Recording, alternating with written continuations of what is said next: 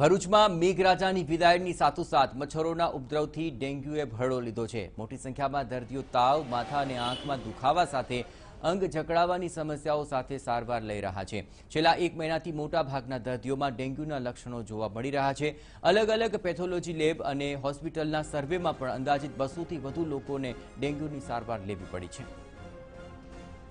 पहले तीन चार दिन तक तेज़ बुखार रहता है फिर उसके बाद एक से दो दो से तीन दिन के लिए बुखार कम होता है, फिर उसके बाद से बुखार वापस एक बार आना शुरू होता है, जिसको हम बोलते हैं कि हाँ दो बार बुखार आया। इसमें खास जो लक्षण हैं, वो तेज़ बुखार है, सर में दर्द है, आँखों में दर्द है, कुछ बच्चों को पेट में दर्द, उल्टी पूरे हाथ पैर में दर्द, ये सब शिकायत रहती है।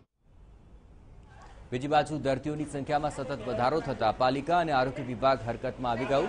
તંત્રએ ડોર ટુ ડોર સર્વે અને દવા છંટકાવની કામગીરી શરૂ કરી છે.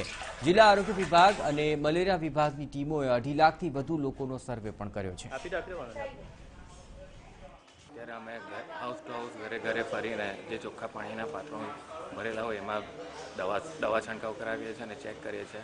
અને પબ્લિકને અપીલ કરીએ છીએ કે ચોખ્ખા પાણીનો ભરાવો અત્યારે ન થવા દો. ખાસ કરીને ટાયર છે પક્ષીકુંજ એ બધા જેવા પાત્રો છે, એ પાત્રોમાં ચોખ્ખા પાણીનો ભરાવો ન થવા તો કેમ કે એમાં જ ખાસ કરીને ડેન્ગ- ડેન્ગ્યુના મચ્છર જોવા મળે છે. અત્યારે અમારો, અમારી ફોગિંગની કામગીરી ઇન્ટ્રાડોમેસ્ટિક એટલે હાઉસ ટુ હાઉસ ફરવાની અને પંપવાળા પંપ વડે દવા છાંટવાની કામગીરી એટલે કે પેરા